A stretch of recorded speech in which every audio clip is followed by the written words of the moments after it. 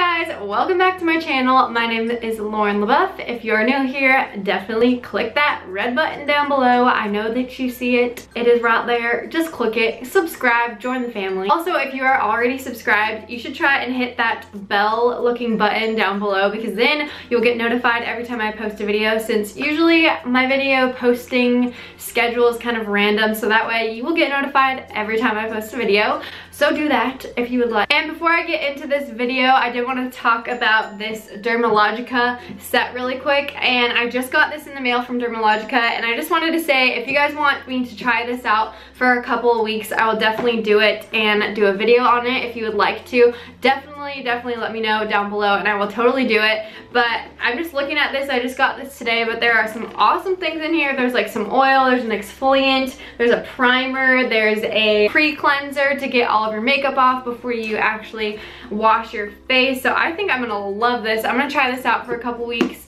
Let me know if you want me to kind of film it or vlog about it or just talk about it in a full video. So yeah, that'll be fun. Okay, so getting into this video, just jumping right in since this is one of the most requested videos I've been getting lately and it is my skincare routine. Alright guys, I'm going to be very honest with you guys and honestly for a while and even now, I think my skin is actually kind of one of my insecurities, I guess I would say. I hate that word, but I mean, it is kind of true. I think a lot of us girls really, you know, we love makeup and we love putting on, but it is kind of hard to get in the mindset of putting it on because it enhances your beauty, not to cover it up. So for a while, you know, when you're in middle school and stuff, you pile on the makeup. And then I just, I definitely did break out in high school. My skin is a lot better now. I think that's definitely having to do with my eating, you know, drinking a lot of water. So definitely skin and your um, glowiness of your skin starts with what you are putting in your body. But today I'm going to be talking about what I've put on my face. So I just wanted to share with you maybe some of my tips or any of that. Hopefully you guys can take away something from this video. My skin has definitely cleared up within the three years or so that I've been out of high school. Wow, I am old. I would say it's definitely a lot clearer because I have grown to know a knowledge of my skin. That's one of the first points I would want to tell you guys is know what kind of skin you have because you could be using all of these products that work great for somebody else and their skin but probably not your own. So the first thing you should know about my skin is that I would say I am on the oilier combination side rather than the dry skin side. So those are kind of the two spectrums. You can be in the middle. So you really do have to kind of get to know your skin and see where you're at with that because the products that you use on your skin have to do with what type of skin you have. I'm sure you guys know that.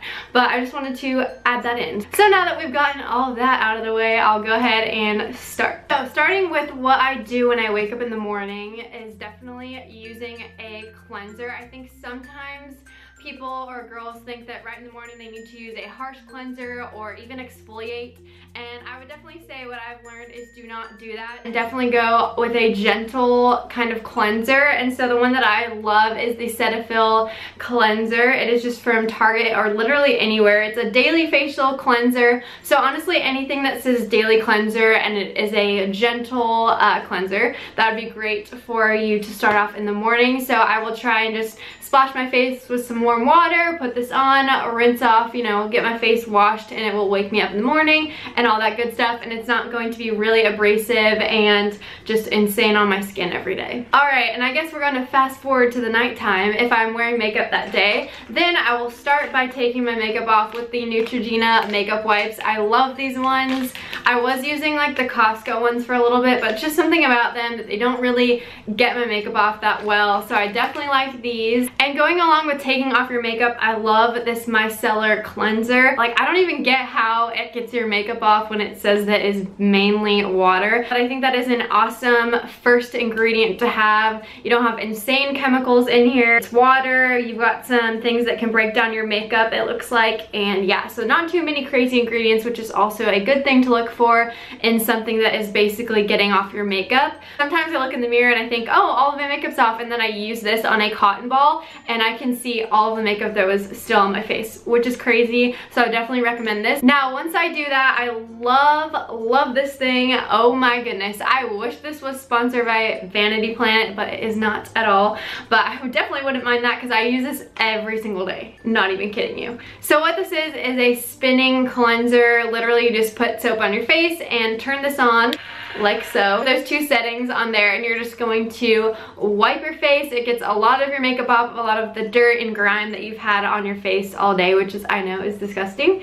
So I usually like to use the soft cleanser everyday use, but the awesome thing about this is that it has three different attachments and one of them is a little bit more abrasive and then the last one is one of my favorites. It's an exfoliant uh, little attachment and I love that it is a rubber one. I'll show you guys in this next clip. But I love that it's rubber because that means that bacteria won't latch onto it and stay there. It's much easier for it to get washed off and cleaned um, when it's kind of that rubbery material. I guess that's what it is. I think it's a rubbery consistency of a attachment. So I really like that one for exfoliating my skin and I will do that one maybe once or twice a week depending if I've done a mask or a different exfoliant. I just don't want to be like exfoliating my face too much throughout the week so it just depends. Um, so maybe once or twice a week using that attachment. And moving on to exfoliators, I love this one so much. I actually got this in the FabFitFun box uh, recently that was sent to me. And it is the Dr. Brandt Microdermabrasion. And it says age-defying exfoliator. Radiates, smooths, polishes. I definitely notice a smoothing effect when I use this.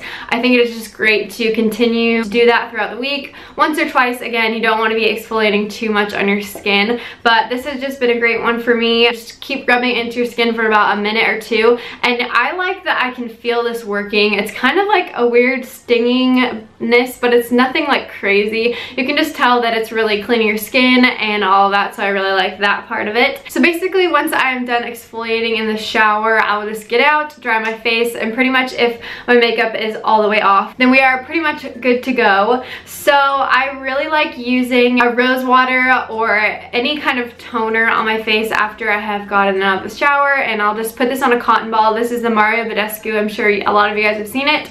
You can get this at Ulta, I think Sephora, um, probably more places. And I will just either spray it on a cotton ball or take this whole thing off and dump it onto a cotton ball. And I'll just go ahead and put that on my face. And it is just a great skin toner. It's going to reduce a little bit of the redness in your skin and any scarring that you might have from previous acne stuff. At night, I wanted to talk to you guys about a rose hip oil or honestly any oil. Sometimes I will use um, Moroccan oil actually. I know a lot of you guys are probably like, what? That's mainly for your hair, but it is good for your skin as well. And this is a rose hip oil and I'm almost out of it. I got this from Target and you guys might be like freaking out like, why would I put oil on my face when I don't want it to be oily?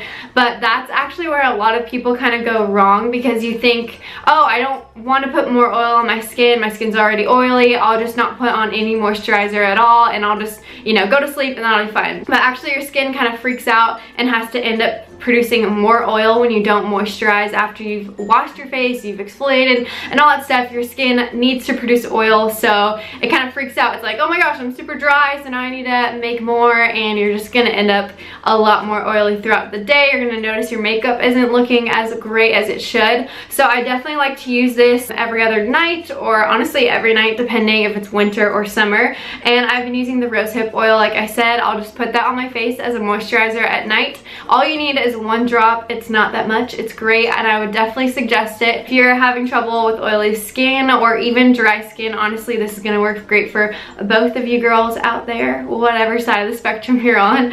So yeah. And the last thing is going to be something that gets rid of those stubborn blemishes that we tend to get. So I use the Mario Badescu drying lotion and this is also a very popular one here on YouTube as well as the beauty community. So I just take this on a cotton ball and I will put that on the problem areas that I might be having and it's very simple. You're gonna look like you have chicken pox but it's okay, it's fine, you're going to sleep anyways.